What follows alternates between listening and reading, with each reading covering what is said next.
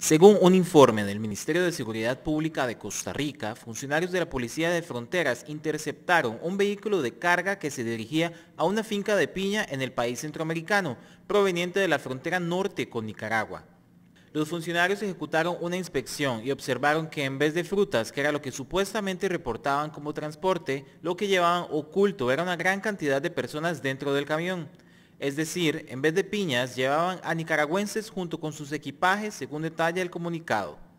El vehículo era conducido por un costarricense, quien fue detenido y sindicado del delito de tráfico de personas. Los nicaragüenses fueron deportados inmediatamente a su país, luego de verificar el estado de salud de todos.